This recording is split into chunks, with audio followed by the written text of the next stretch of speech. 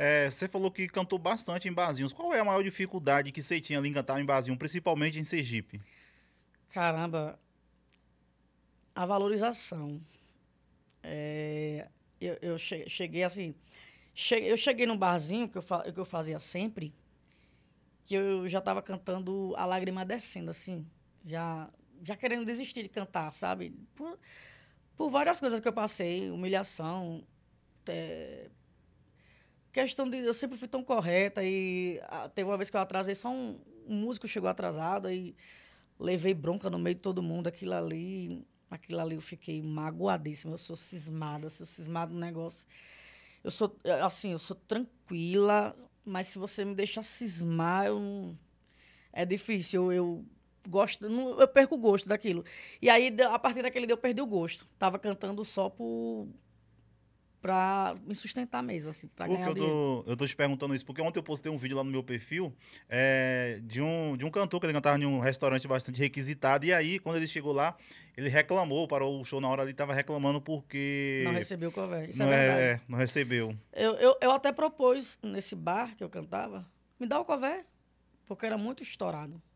Era fila pra... pra era fila, me dá o cover, e ele nunca quis me dar o cover. Ele, ele, tipo assim, a maioria determina um valor. Não é você que determina o seu valor. Tipo assim, não, meu cachê é X. Só que eu sempre fui, como eu fiz com o bloco, né? Me deu uma oportunidade para fazer meu nome. Eu sempre quis fazer o meu nome. Então, às vezes, chegava em bares que eu, tá, vamos fazer esse valor, mas se aumentar, se aumentar o público, você me ajeita também. Só que aí Aquela... É, aí essa outra parte é difícil. Aquele tipo de negócio que tá escrito lá na, na, notazinha que o cover, que o cover nós, é, nós paga lá, que vai direto pros músicos, nunca não, vai, né, Cleciano? Eu nunca recebi o cover, a não ser de, de bar que tá começando, que tá começando, que ainda não tem aquele público fiel. Aí, tipo assim, assim eles, ele, a maioria dá o cover. Não tô falando todos, tá? Mas eu tô falando da minha experiência. O bar que tava começando ah, se quiser pegar terça-feira aí o cover seu. Eu digo, porra, terça-feira.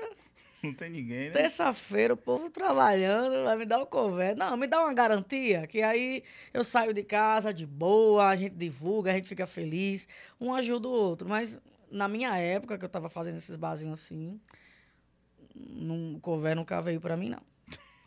e hoje, quando você vai no restaurante, você paga o. Pago. Eu pago o cover. Mas você paga diretamente pro artista ou paga na. na, na... Eu, já cheguei, eu já cheguei a perguntar se o cover ia diretamente. Teve artistas que sim. E já cheguei a dar agrado por fora da minha vontade mesmo, não me identificar, mandar alguém que está comigo.